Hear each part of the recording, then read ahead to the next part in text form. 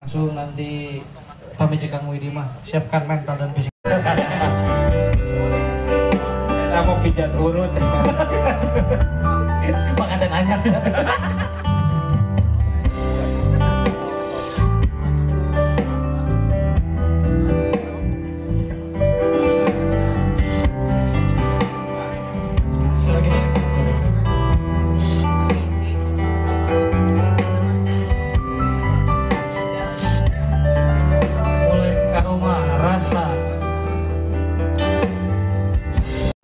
Ya, eh, untuk kegiatan Festival Kopi Nusantara ini, Nusantara kita sekarang untuk kegiatan ini di tahun kedua.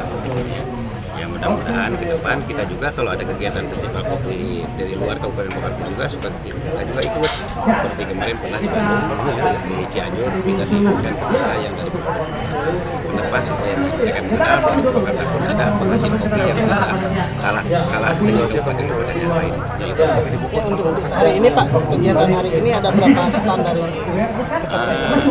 Alhamdulillah sekarang kita ada dari perwakilan ada 15 kita harapkan ke depan tahun depan kita akan lebih banyak lagi kalau kita harapkan insya Allah tahun depan kita dari setiap kabupaten provinsi bisa hadir di sini perwakilannya minimal yang ada di Purwakarta sekarang yang ada di Purwakarta mereka di Purwakarta kita pilih di sini ke depan kita akan lebih luas lagi Pak, apakah